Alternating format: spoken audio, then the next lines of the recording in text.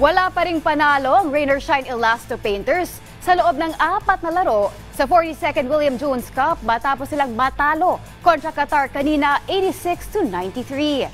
Tabla pa ang laro sa mga unang bahagi ng huling quarter bago nagpakawala ang Qatar ng 11-4 run para tuluyan ng makalayo kontra sa Elasto Painters.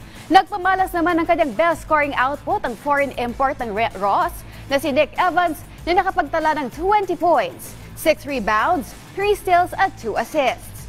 Dahil dito, wala pa ring panalo ang national squad na sunod namang makakaharap ang Iran bukas.